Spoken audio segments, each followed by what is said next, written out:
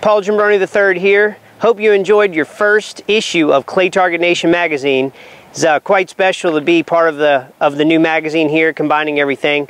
I want to go in a little bit more detail about the article I wrote. Uh, we wrote about the eyes. We talked a lot about how to set up your eyes in the beginning of the shot to what you do during the shot and after the shot. Let's go into a little bit more detail here.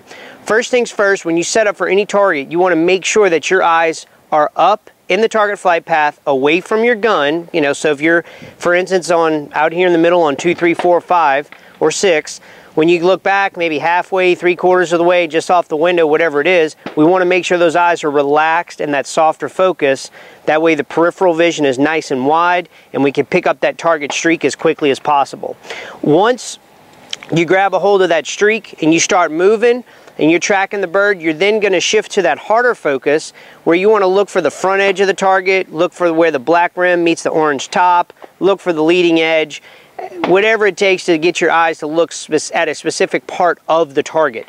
And you're going to want to do that right as you're approaching your break zone.